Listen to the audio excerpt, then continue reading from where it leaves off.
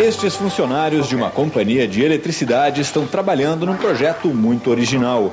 Eles usam garrafas de plástico para construir foguetes.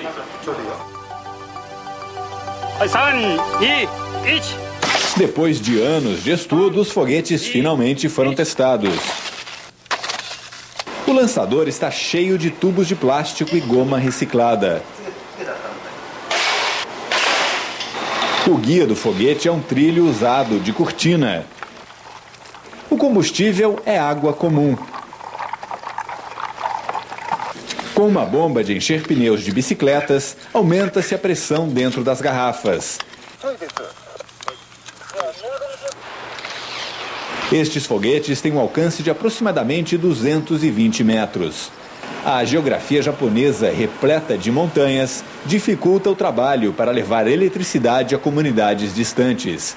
E subir e descer as montanhas gasta tempo e é muito perigoso.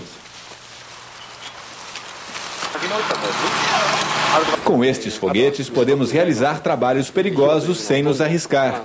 São seguros, baratos e economizam muito tempo. O foguete atravessa um vale de 200 metros e só levam alguns segundos para chegar do outro lado.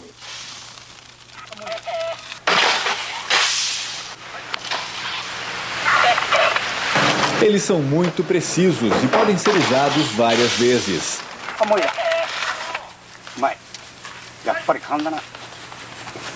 O foguete arrasta cabos de alta tensão até a posição desejada.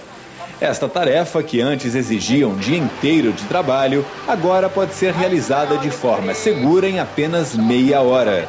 Tudo graças à criatividade e a garrafas de plástico. 1